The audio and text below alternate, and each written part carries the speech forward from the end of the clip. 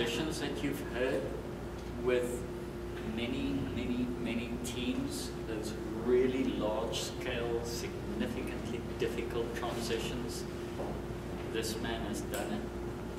So he's the one to ask really tough questions to, to get good answers. And what I enjoy most about Dave, and I think you'll see it here today, is this topic. Um, so for me, the test of a good coach is do they use Agile in their lives, in their work? So do they walk the, uh, walk the walk? Um, so Dave, thank you very much. Looking Thanks a lot, to hearing it. So the difficult thing of getting an introduction like that is the second time I get the introduction, I'll know whether or not I've lived up to expectations as to whether it's the same or it's uh, shorter and, and a little less uh, detailed. Uh, today you're going to learn a little bit about some of the experiences that I've had uh, working on large enterprise transitions. In particular, what I'm wanting to do here is introduce a tool that we developed as a result of that called Agile Strategy Mapping. Um, but before I do that, I'll just give you a bit of background to myself and a little background to the, the particular transition we were working on and um, what went wrong and drove us to develop this tool. So as you can probably tell from my accent, I'm not a local Vancouverite. Uh, and no, Agile Vancouver did not fly me over from the UK. Uh, I moved here a year ago, just over a year ago. Uh, I was actually, I left the UK 10 years ago. So I was living in Germany for eight or nine years uh, and moved here about a year ago. Uh, I uh, cut my teeth in Agile, if you like, with a previous company where as an IT director, we introduced Agile, and as the saying goes, I liked the concept so much, I didn't buy the company, uh, but I joined the consulting company, Agile 42, that led that transition, uh, having first successfully transitioned uh, the IT organization of 75 people, uh, most of whom were in Armenia, and the company was in Germany. Uh, having made a successful transition there, and about 18 months later, was able to step back as IT director safe in the knowledge the IT organization was in safe hands and was delivering consistently and as you'd expect in any agile transition, incrementally improving and delivering working software on a regular basis. But first, a little bit about the story that I'm kind of coming here to talk about. So I'd like to talk a little about a, an agile transition that uh, a, a, team of nine uh, international coaches came together for. It's, I, I, don't think there's like details on what a large transition is, but it's one of the largest transitions certainly I've heard of working in the telecommunications industry.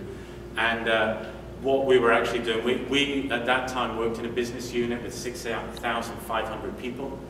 Uh, and after a bit of legwork, laying the foundations for an agile transformation with a bit of work with a pilot team, uh, we brought together nine coaches uh, that is CSCs, certified Scrum coaches, certified trainers, uh, as well as a handful of, of uh, experienced coaches, but without the qualifications, if you like, or the, name, the, the letters behind their name, to put together a transformation of over 500 individuals to 50 teams, which then has gone on. We built the internal capabilities so that uh, that organization now has well, 6,500 people have transitioned to Agile the last two years, and then now extending that across other business units in this uh, organization which has over 100,000 employees.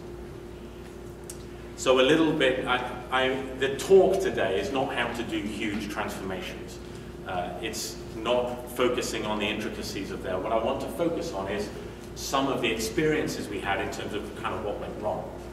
Uh, the first thing I to look at here is just, this is just a quick summary to say, setting the scene, the way where we started is we had these nine coaches, very experienced, all coming together to lead that transformation. Our objective was to build internal capabilities so that those, those that organization could continue with the agile transformation and build a sustainable and, and incrementally and continually improving organization. In order to do that, uh, each of the six countries involved sent along their, what on paper should have been their best employees to create the internal coaches and scrum masters. So there were 23 people. So the, we, we, then have the nine coaches, external coaches, 23 as an internal trans, transition or transformation team, and they would then be working with over 500 individuals to create these 50 teams. Uh, and the first thing we did was co-locate around eight teams together so that we could actually coach the internal coaches on getting off the ground. So that's setting the scene. That's what, where we're at at the moment. We're at the beginning or we're in that first couple of months when we're getting the internal coaches off the ground. And this is what we saw in terms of the, uh, in terms of the, that organization. The, the agile teams themselves, everything was as you'd expect. Everything went really well. They were really enjoying themselves. They were co-located, so many of them had been brought in. Uh, they were therefore socially getting on very, very well, beginning to form the relationships that you're looking for in good teams.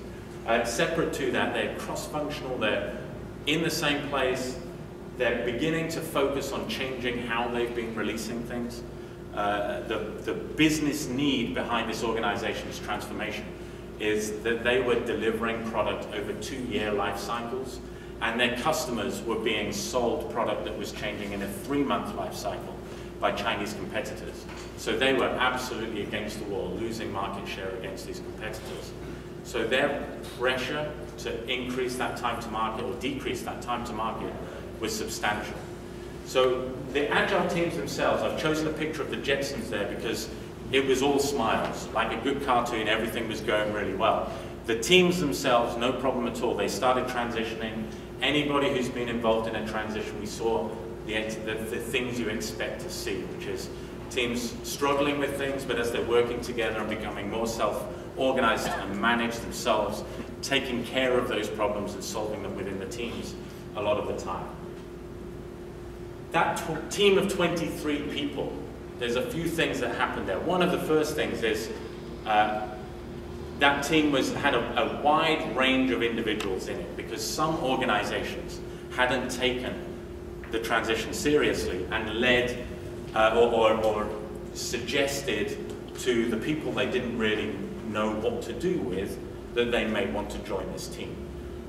Other organizations took this very, very seriously and placed their best people there. So we had a real mix, as you would expect in that team.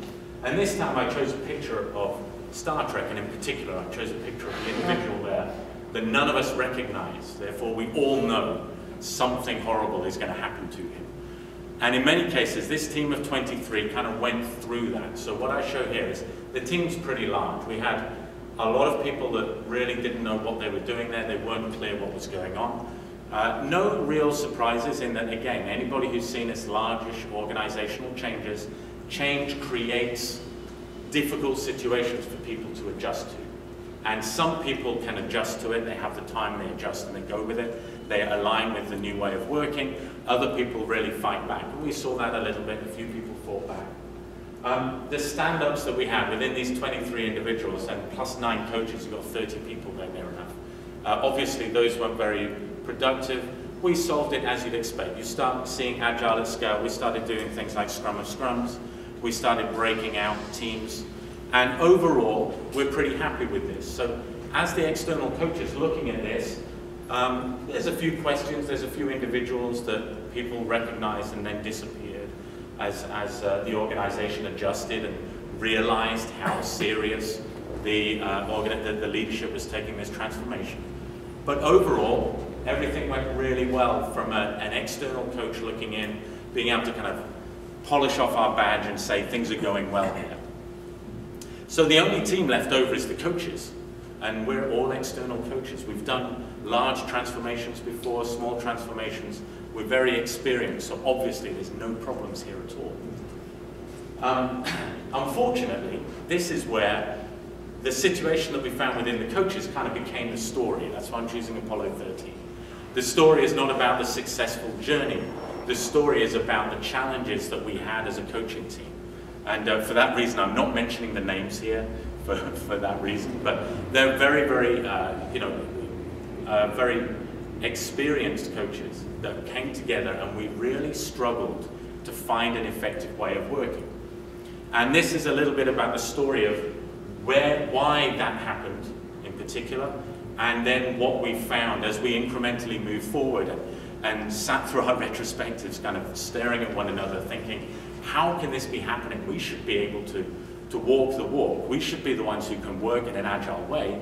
Why is it when we get together, we can't somehow work in an agile way? And uh, how we learned and, and moved around that. And there's a hint of what's going on. And the two things I want to point out here. One is, as you would expect with nine coaches coming together, if there was a backlog item anywhere near a backlog, it got done. Because we're all we can, we can move backlog items. So there's a lot of that sort of, you know, that there was not a, an issue with getting workflow going through. So the workflow issue wasn't the problem.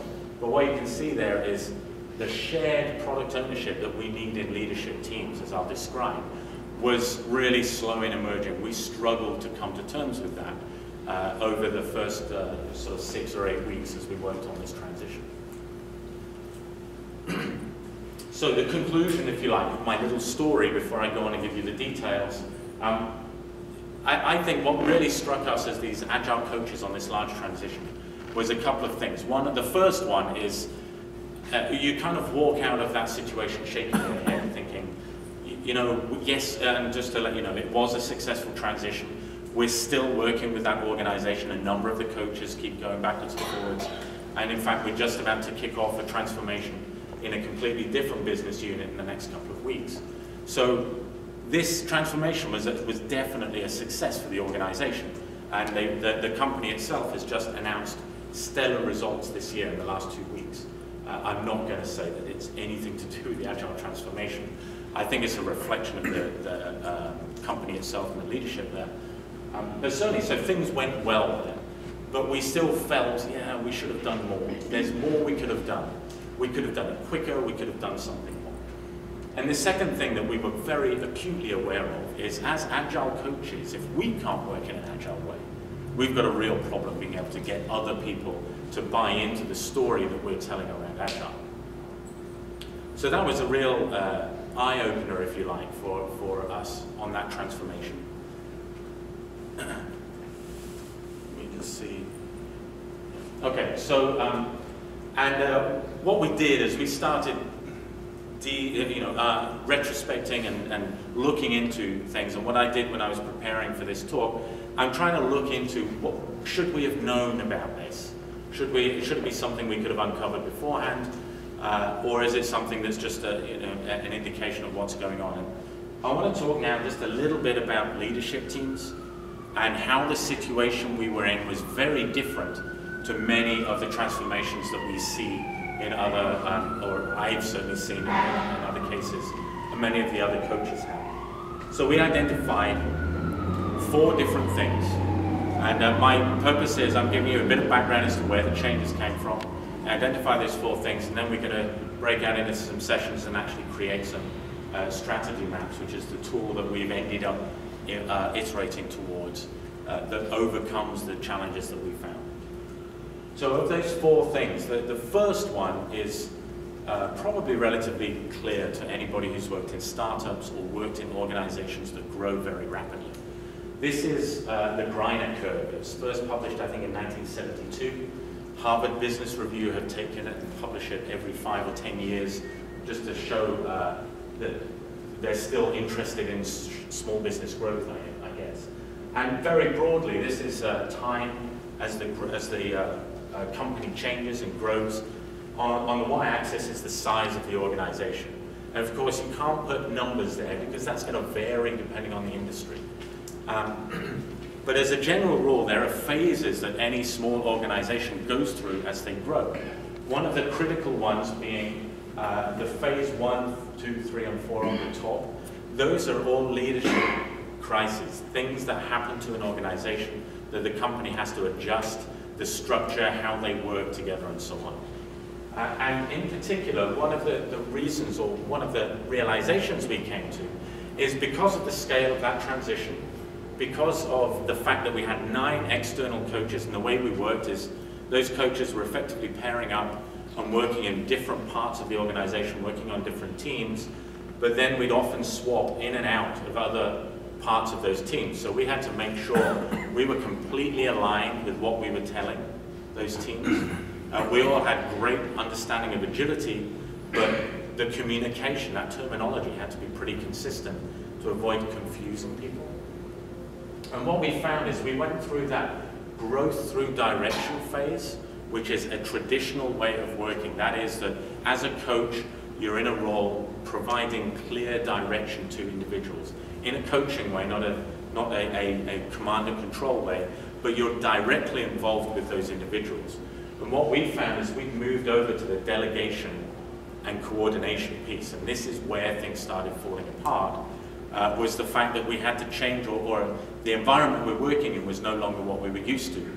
So I, if I was working with one coach and another coach came in, we had to find a way of reliably allowing these people to come into teams we'd been working with uh, without the risk of confusing the teams, because if the teams were confused, we had a real problem.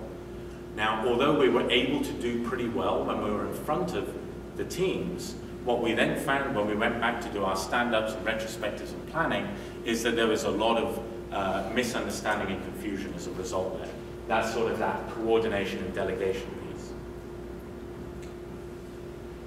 And, and uh, one of the things to pick up is that only came about because of the scale of what we were doing. If we'd broken that down to smaller uh, or we'd chosen a different way of making that transformation, that would probably not have happened. The second point is, is quite interesting actually, and the more I look into this, this is something that I think uh, we don't know enough about and we need to work more on. And this is the idea that leadership is a, is a group activity. So typically when we're working with uh, management teams, executive teams, every, you can tell by the body language who makes the decisions in the room. You can see who calls the shots, and it may not be the CEO. Uh, you can see who people defer to and who is driving a lot of the change there. When those individuals are out of the room, there's very little point in making uh, commitments and decisions because very often they will then go back past this individual. That's a, a situation that I've certainly, I'd, I'd say, grown up with in terms of my, my business career, and that's what I'm used to. But more and more now, especially as you start working with agile teams, self-organized teams, and especially as you move up into that leadership role, you begin to see really highly functioning teams where there is no individual that commands that sort of uh, respect or demands that sort of respect. This here shows a couple of numbers from a, a paper, it's about 10, 15 years old now, but that was a summary of a lot of work that was done into groups and how groups work together. And what they were finding is that the top graph here in the blue is employee participation in leadership groups. And what you can see is, the, and, and this was a summary of about the last seven years, so sort of 1990s through 1990s. So this is the decade when everyone's talking about empowerment of employees. And you can see the number very clearly there. Employee participation in leadership groups jumps dramatically. Uh, and the same thing here, you've got self-managed work teams, which was already pretty strong, is beginning to increase even more, and it's just dominating that workspace, which any of us, uh, well, sometimes we see this, and I would say sometimes we don't. So that was something that uh, really struck us, and, and the, when reading through this paper, the interesting thing is they talk about uh, this emergence of group leadership, what I would say in, in the last sort of five or ten years, I still see that that emergence is not there. And so I think that's one reason why when you actually find an organization or a group of people who are truly leading as a group, where you don't have the one person that everybody is, is looking to to find out what the decision should be, uh, we, we actually struggle with it. And this is one of those things that we found. We had a lot of coaches, they all live and breathe servant leadership, so what we actually found for the first four weeks is everybody took a step back and wanted everyone else to have the floor and have a conversation. And what we found was we kept spinning our heels and spinning our heels until we found a methodology or a framework that we could all rely on to, to, to make decisions and make those decisions visible. We'll talk a little bit more about that later on. Uh, the third thing that we're looking at is the definition. From the same paper, they defined, they summarized a lot of different work, and they identified four different types of teams. Uh, one of the teams is the one that I kind of think is most teams, is the concept of working teams. These are the teams that do the work, obviously. Uh, they, they comment in here that this is more and more self-managed, at least on paper, is more and more self-managed teams. And uh, they're pretty well defined, they're full-time, they're always there, and they're committed to what's going on, they're stable. They identified two other types that one of them, the parallel team or the virtual team, uh, in some sense we use quite a lot in, in Agile in some form, whether it's a, a technical architecture decision team or a, a quality team that's looking at one particular aspect of the whole product, but it'll be a virtual team across multiple, multiple Agile teams. And in this particular case, those parallel teams typically are making recommendations. So again, from our experience, we see parallel teams. We don't call them parallel teams, but we see parallel teams. We encourage and grow them when we're doing transitions. We see the work teams. That's what we want to see. Uh, as an agile coach, I can say when I see project teams, our focus is to move them to work teams and so that the projects flow through fixed work teams. But again, it's not unusual to see work teams. I challenge any agile coach here to say that multitasking is the way to increasing uh, your time to market. Uh, maybe someone will take me up on that, I don't know. Uh, I think that, I mean, that's quite an interesting topic on its own, is just the idea that multitasking is the way to go forward is certainly dropped off the way of managing ourselves or managing organizations and teams. But the final point here is the leadership teams, and I thought this was quite interesting, that this was the first mention I'd certainly come across where the idea of a leadership team is truly different to the idea of other teams.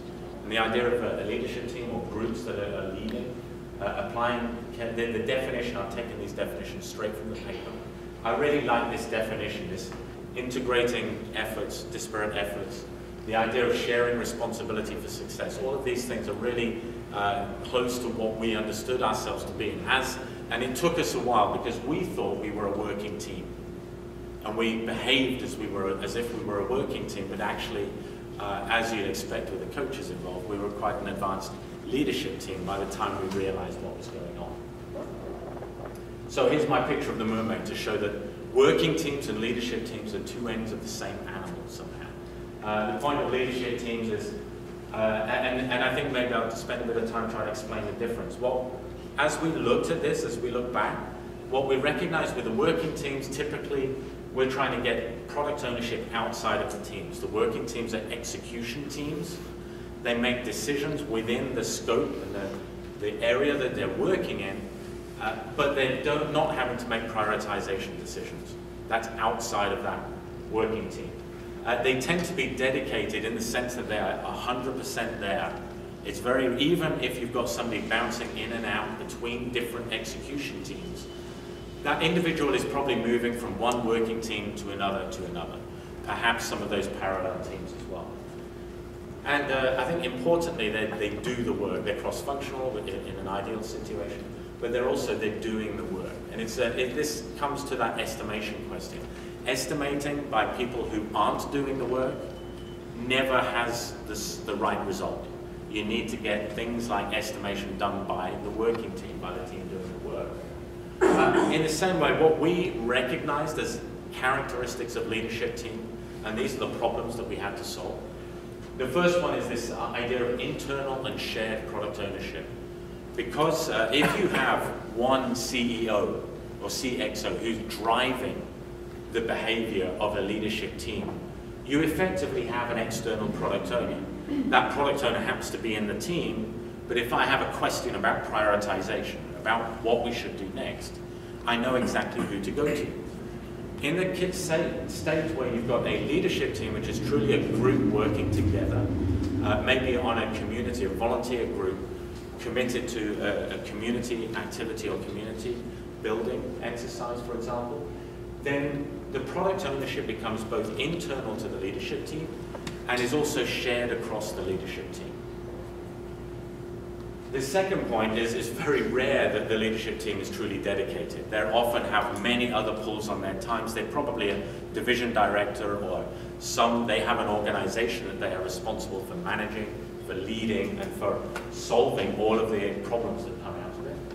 Um, they're cross-functional in that I have a director of operations, I have a director of development, customer service, marketing, and so on. However, they're not doing any of the work. They're immediately going to delegate what's going on. So in that case, in that situation, it can be quite difficult because they're making commitments or they may feel they have to make commitments for things that their teams can't actually, uh, they don't know if their teams can support it.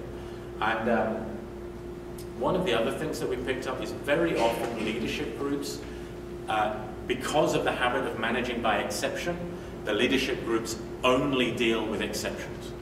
And uh, this means that their ability to commit, their ability to turn up for a regular stand-up is greatly affected. And it's very common for you to lose individuals in a, in a leadership team for weeks at a time as they're dealing with exceptions, as they're dealing with something in their organization. And then they have to come back and somehow catch up with where things are. The final point I'll touch on, and this is a, kind of a, in some ways a, a bugbear of mine, which is the idea that tools really drive behavior. So in this particular case, I've just used a hammer and a nail. If I have a hammer, everything looks like a nail. Uh, it certainly limits me to carpentry, let me put it that way. Uh, the, the idea of a lot of leadership tools is it's reinforcing uh, non-good leadership behavior. I probably try and put that in a better way. Um, it's really interesting. This, um, 10, 15 years ago, when I used to get involved with strategy as some young newbie, joining the leadership team, very excited. Every time I saw one of these diagrams, my chest would puff out because I'd go, I'm here, I'm running this pillar, or I'm responsible for this. It was something that was very, you know, was, was one of those things that, that I'd finally made it because I'm somehow involved in the strategy pillars and the strategy house. Nowadays, I, I shun it like the plague, and I, I've developed my I've developed this for many companies that I've worked with. I've been part of this process many times. I struggle with it nowadays because of the behavior it drives. Um, and, and partially because it's everywhere. I've done a quick search on it. The, the Canadian MI5, I'm in the UK, MI5, Internal Canadian uh, Security Services has their own pillar diagram. This is the one for the Canadian military. Um, so they're really everywhere and they're, they're kind of part of the fabric. RACI diagrams, all of these different things. These tools, the challenges with them is they drive leadership teams to a certain way. Um, they tend to be, uh, let me just look through the notes here. They, the, the challenge with leadership nowadays, as, as organizations have flattened, is you need a, a view across the whole organization. And a lot of these tools cut that organization into pieces and then say, look, you're responsible for whatever it might be, this piece. You don't need to talk to the other pillars. And that sort of chopping things up, into, into chopping the, the value stream, if you like, into independent pieces is very, uh, drives a lot of very odd behavior. Examples here, so my picture of the nut that has been cracked open and is in pieces. A lot of those silos end up with a local optimization of effort local optimization of results. A director who manages the quality organization is going to be measured, rewarded, challenged to change, optimize, and so on. Only that one pillar, whatever that might be. That tends to lead, as I show here, to silo behavior, this negative reinforcing loop. If I've got silo behavior and I'm in a, a management team where everybody has this silo behavior, then I'm going to start making vague commitments because all of our, Uh, my reward, my, my career growth, if you like, is on meeting commitments. And as long as nobody knows my area of expertise and I can kind of pull the wool over people's eyes or just I look at behavior around me, I'm going to live get vaguer and vaguer commitments. There's even a problem because the guy in the silo next to me is not going to call me out, even if he knows or she knows that I'm kind of covering something up because if some finger points at me, they know that I can point the finger back. So there's behavior there that leads to vague commitments, weak accountability, and continues to drive that. And, and again, anybody who's been in this situation or works with uh, large transformations, this becomes a real barrier to change. And uh, the positively reinforcing loop, and I think this is one of those things that when people say to me, what's the first thing that you do in an organization? One of the first things I do is just visualize the whole process, end to end, and find a number, a metric, something I can measure that deals with delivery outside. Because the number of organizations I know that optimize in their, those pillars is phenomenal. So again, no, no big surprises here. If you're looking at the whole value chain, or if you're looking at delivering out to the customer, you begin to get shared ownership. And the strategy map that we'll show you in, the, in the next 50, 45 minutes or so, uh, that strategy map that delivers this visualization, vi greatly visualizes it, has, has changed leadership teams and how they, the dynamic that they have in them. Which is one of the reasons why uh, we like using this so much. It leads to definite commitments because we kind of have to get results. And uh, if anybody's uh, working with them in a lean or agile way, they're going to be getting small, definite commitments.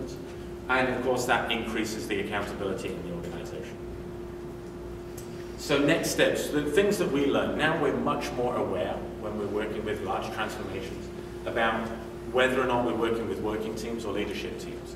So we're looking for the scale. Where are we in that Greiner curve, if you like, uh, in terms of how we're working. And we're also looking uh, at things like uh, what sort of team are we working with? Is this a leadership team or a working team? And adjusting our behavior accordingly.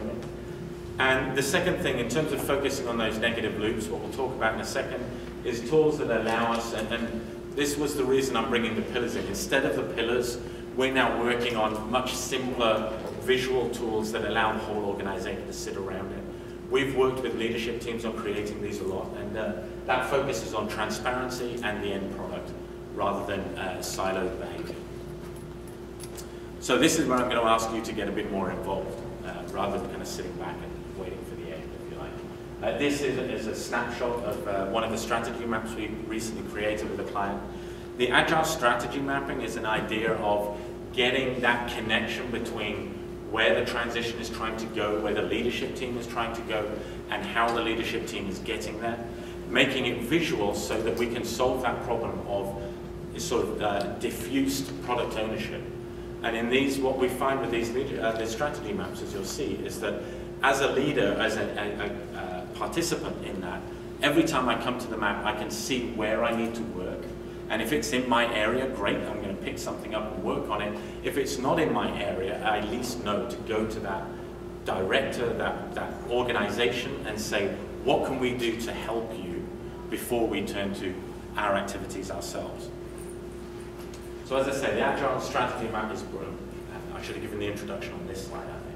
The Agile strategy map is really is generating teamwork and generating questions. So we really like this because you put it up on a wall and it's just something that even as people walk by, it's going to lead to the right sort of behavior.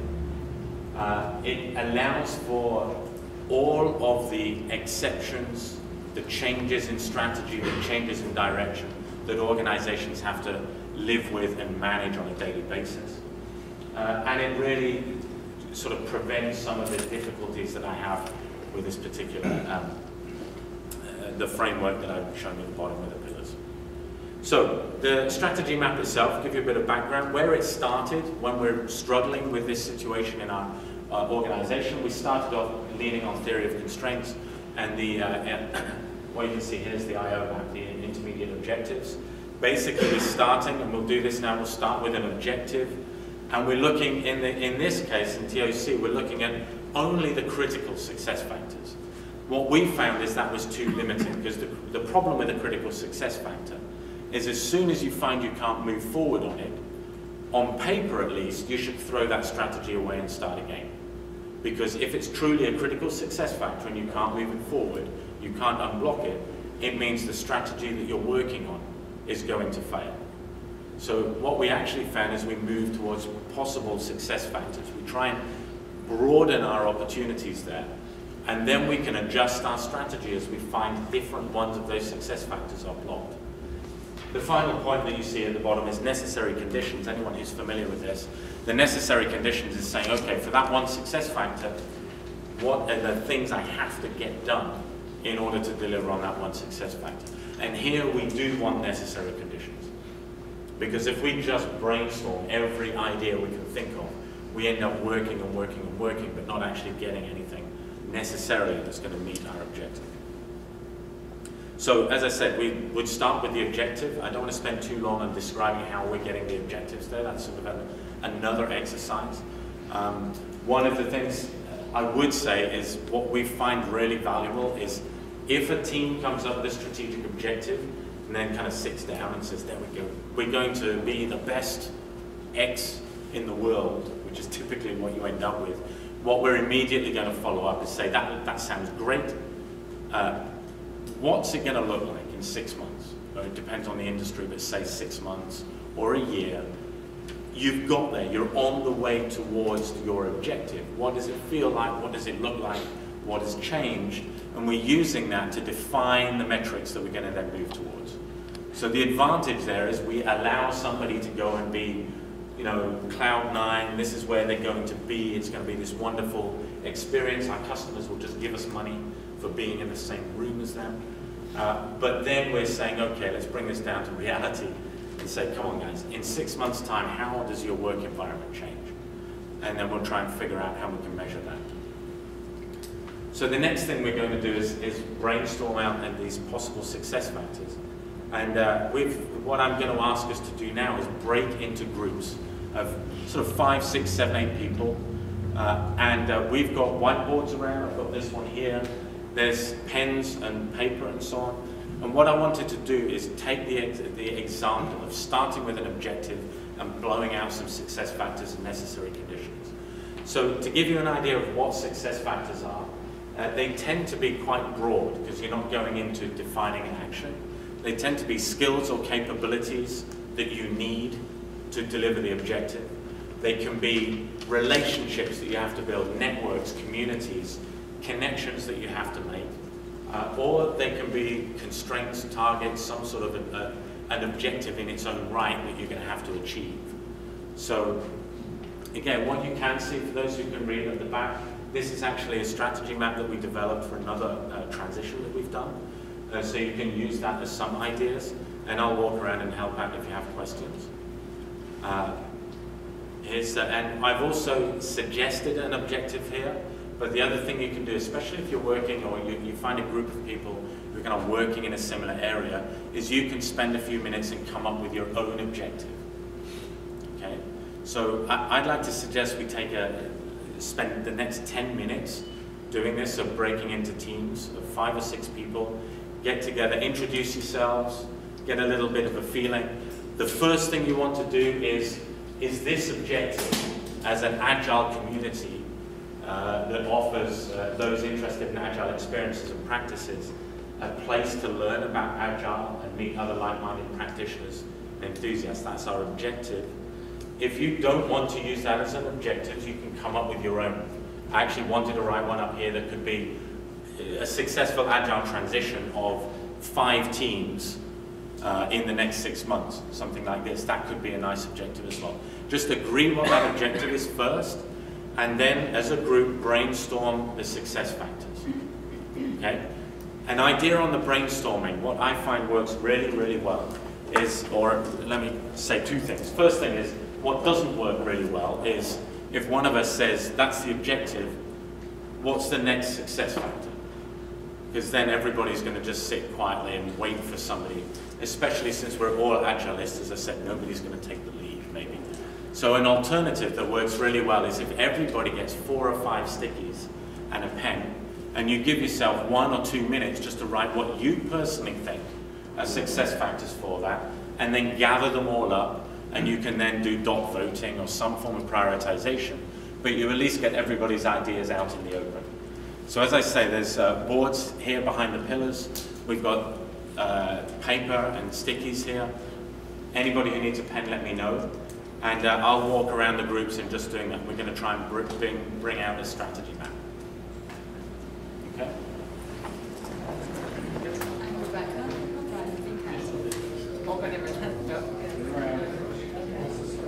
Doug from Duff oh, All right yeah.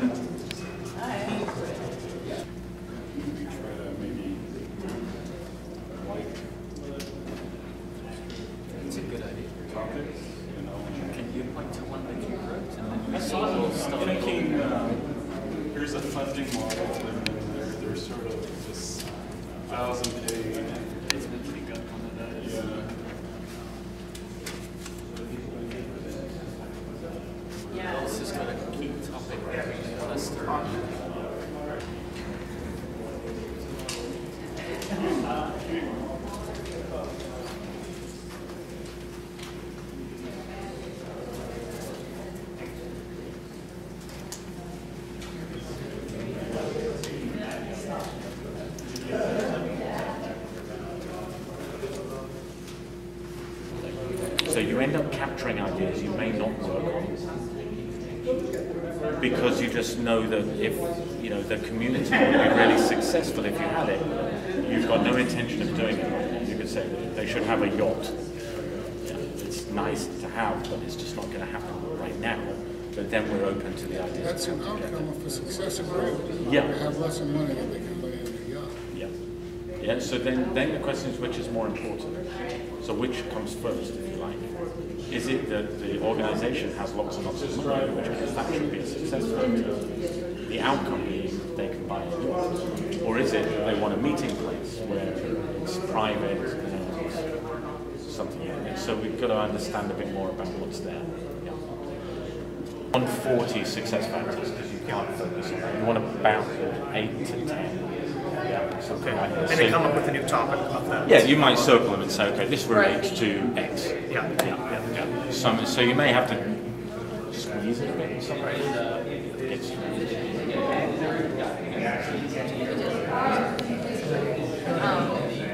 Yeah. how are we doing on the success factors?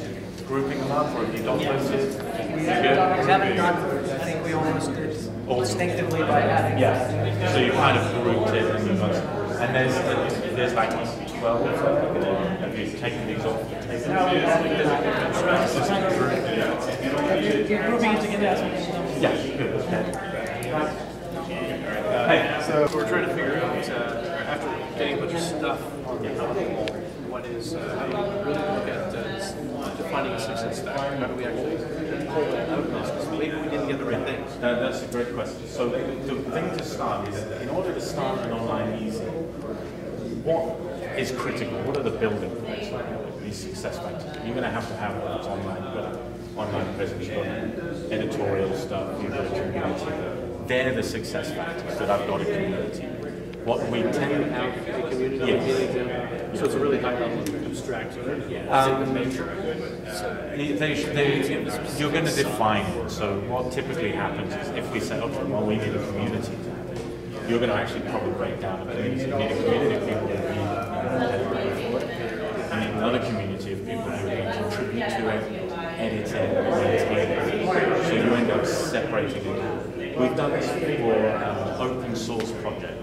You can imagine from a community side, they need very different types of communities. Support, development, users.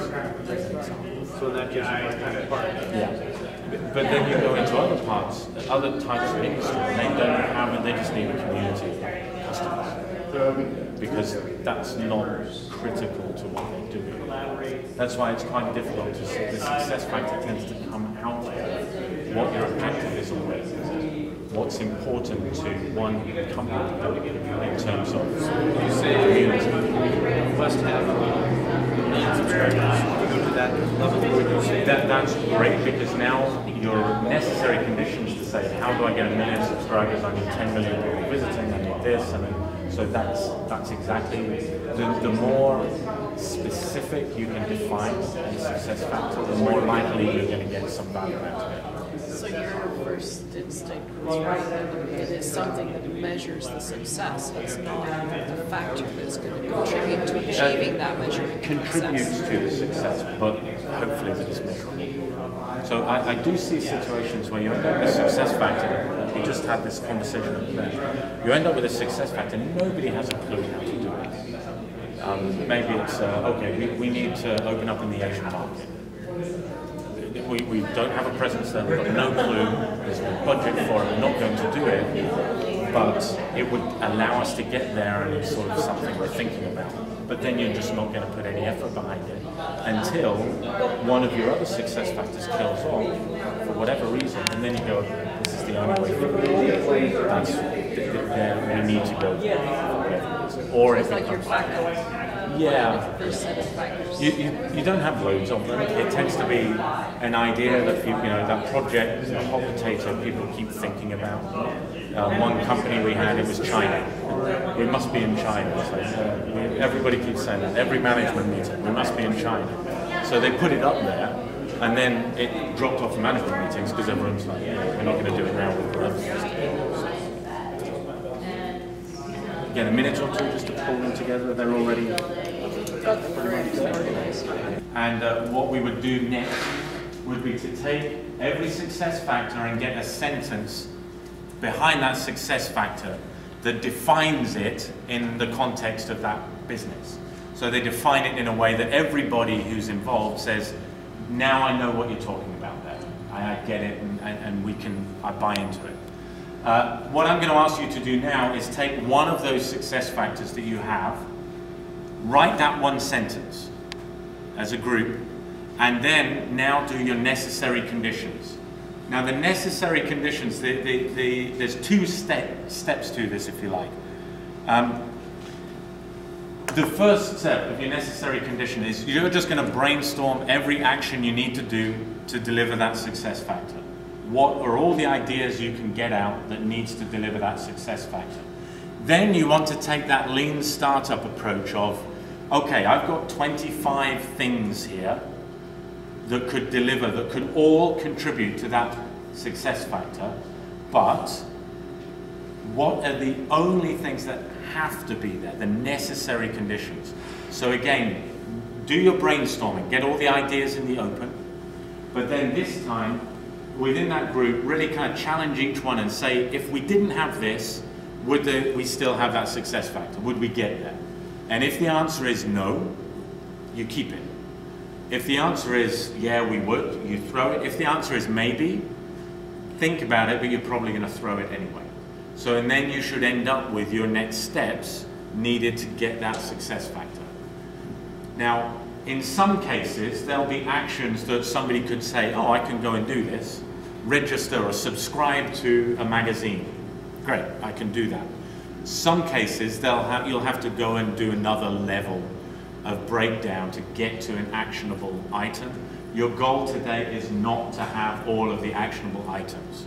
So think of it as brainstorming the necessary conditions or projects that you would have to complete in order to get your success. Okay? I'm going to try, I noticed we kind of overran on time because I didn't swing by here enough.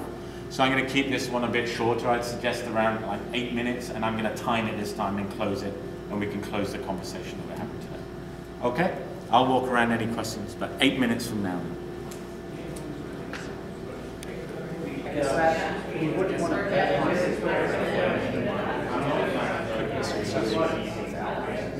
to pick one, I got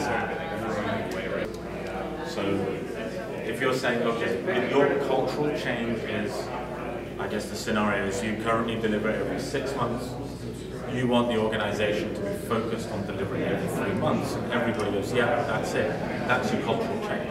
Because then I can think, what are my necessary conditions? I need the technical environment that allows them to do that, and in smaller chunks of work, probably you need, you can't be releasing every three months because it can be disaster, you probably release every month. Internally, then drop it every three months. So then those become the necessary conditions around that. And when you meet all of those, you meet that. Okay. So that sentence is fine. It may be completely different to the next organization. Their idea of cultural change, the organization I work with today, their idea of uh, cultural change is about the way they work. They're focused on how people work together. So it's a different piece, of similar. This is where, what is convenient? Convenient means most people can attend. Convenient means you don't get stuck in traffic. Convenient means I can have food at the same time. So it's not a So then you need to say, okay, my next, exactly. I mean, I know this group. No. Um, so then that's where, okay, my necessary condition is convenient time. time. Hopefully, the success factor is clearly defined enough. It, implies what time should mean. But if it's not, it could be just agree what convenient is.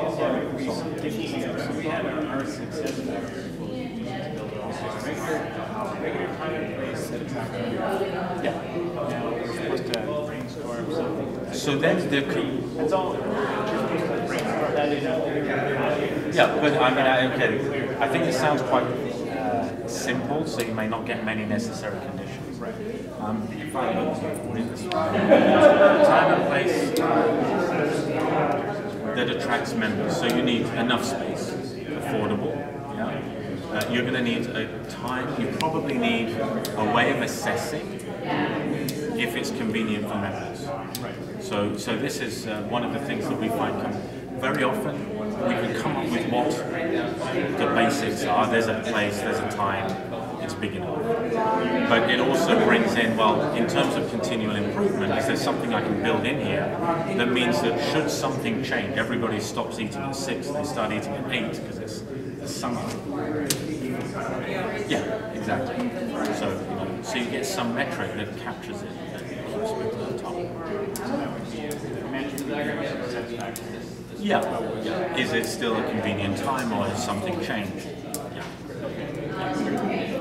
So this is where the, the necessary conditions is a broad, you know, it's, it's strategic. You kind of have to push out the boundaries. Um, you don't always have to. At the end of the day, you choose a good time and place and everybody knows it. Good too. Before, before I suggest every, before I suggest everybody comes down and sits down, is there any group that would like to tell us a little bit about what they learned, what they found in terms of success factor? Or is everybody sick of standing and just wants to sit down? This group over here, before we disperse.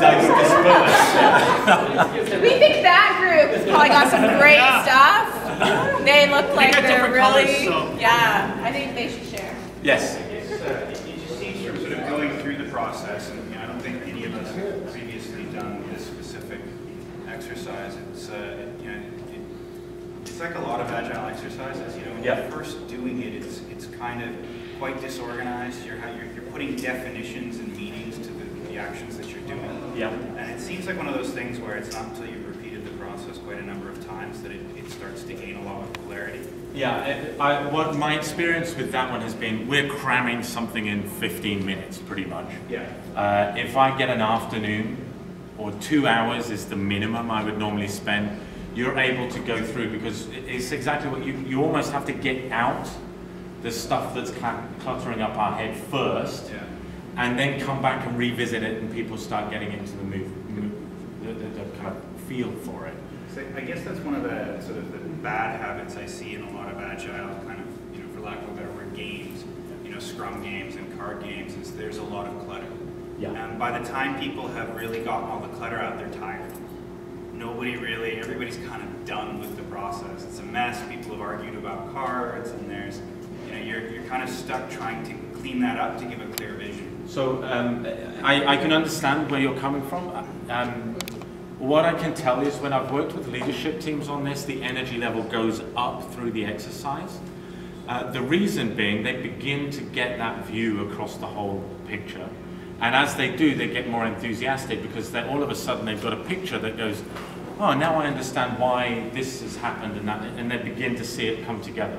But I do agree, in, in like 15 minutes or 20 minutes, which is what we've had a chance to do, with people who are disparate, so it's a very much a touch on top, so I understand where you're coming. But, but that comment that you've seen that with leadership teams, I think speaks to the process is that Yeah. they're, they're committed to, uh, to the result. They're i- Yeah. invested in the, in result.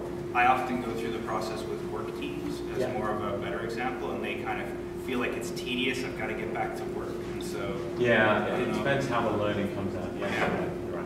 It also depends, I guess, on who's doing the exercise. If you're in the development team, they're gonna look more and more detail, which is gonna drag them, as the process goes on, they are gonna bog down. Leadership teams, the more they do it, the higher a level of wider picture that they get. That is Yeah. what's gonna energize the leadership. So let's, let's grab a seat now quickly. Um, I'm just going to try and wrap up in, in a four or five slides and then open up for questions and feedback. You still need to regularly review it, update the color coding and things like this, as you would with any sort of strategic tool. Um, but the nice thing is that those individuals who get pulled away for 10 days come back, they immediately see the progress that's been made, and they can also take action when they have time. So it was a, a very valuable kind of tool that allowed us to do that. Um, one of the other points, there's been a bit of feedback on how it's being used and so on. What we've seen,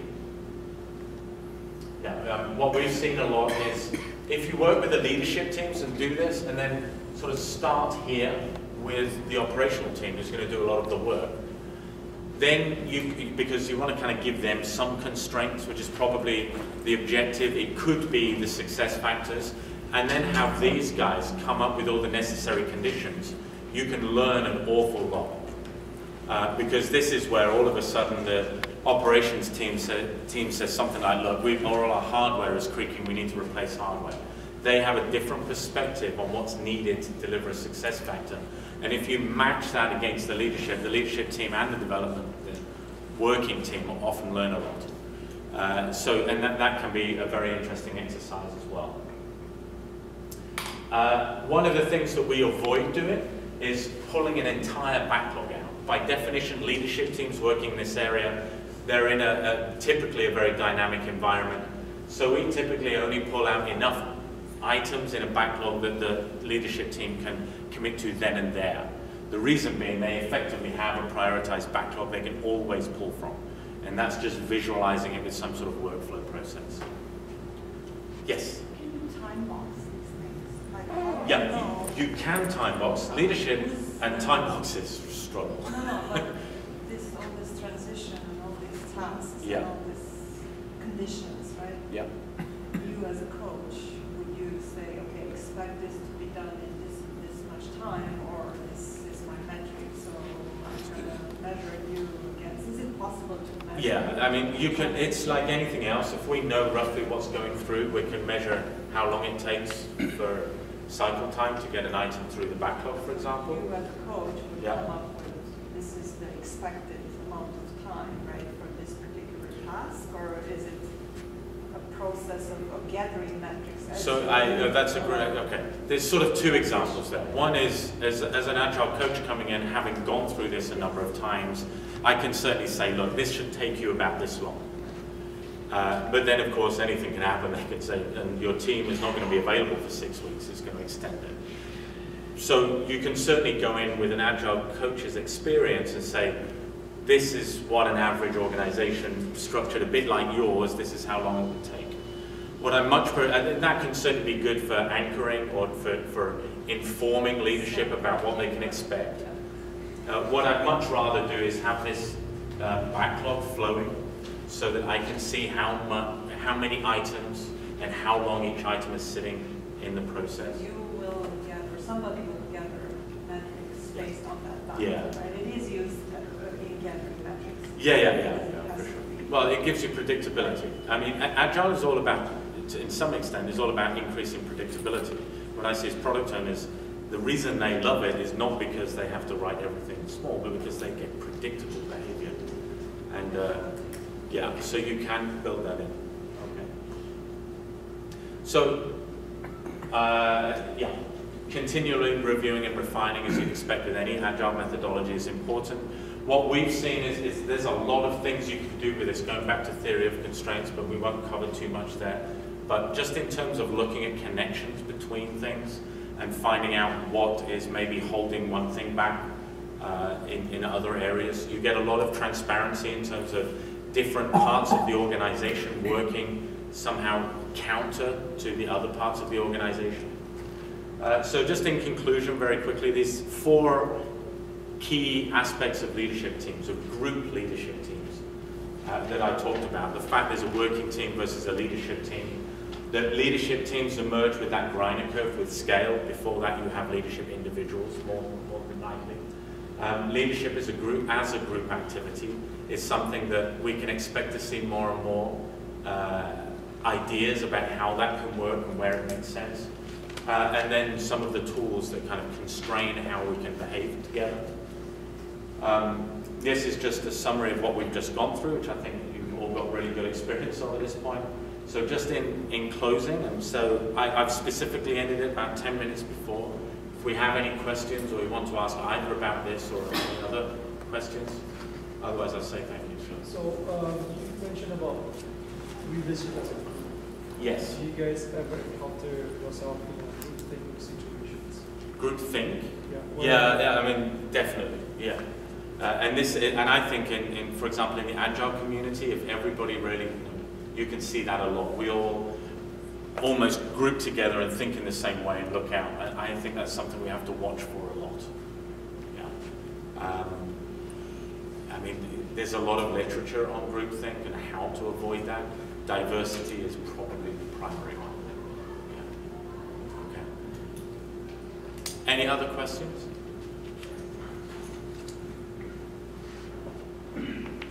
Excellent. Everyone gets a coffee break early, so thank you very much.